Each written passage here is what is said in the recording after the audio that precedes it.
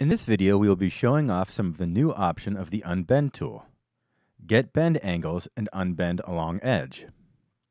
And if you would like to follow along, please download the file found in this video's description. Let's start with Get Bend Angles. Choose Unbend Sheet from the right side toolbar. In the inspector bar, check the option for Get Bend Angles, then uncheck Leave Source Copy. Now select the top facet on the bottom section of the 3D entity closest to the camera. Let's switch to a top view so we can get a better look. Notice that lines appear where the object was once bent and that angles are displayed using text. Now let's switch to Northwest Isometric View and focus our attention on the other entity on screen. Choose Unbend Sheet and check Unbend Along Edge.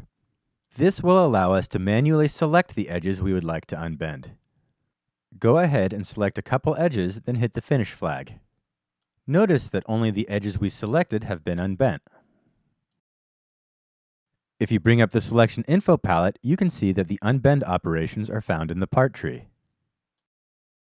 You can suppress the operation to show the entity in its original state. That's it for this video. For more great videos, please subscribe to our YouTube channel. And if you have not already, download the latest version of TurboCAD from turbocad.com today.